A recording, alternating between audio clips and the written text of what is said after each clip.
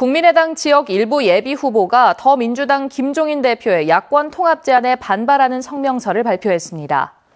전남 동부 지역 선거구에 국민의당 후보로 출마한 구희승, 김경호, 박종수, 남기호, 정인화, 김철근 등 예비 후보 7명은 최근 야권 통합이라는 미명 아래 국민을 기만하는 구태 정치의 답습을 즉각 중단하라며 국민의당 창당 정신을 스스로 부정하는 오류를 결코 범해서는 안 될 것이라고 주장했습니다. 이들은 김종인 대표의 야권 통합 제안에 대한 국민의당 안철수 대표의 비판에 힘을 실어주기 위해 성명서를 발표했다고 밝혔습니다.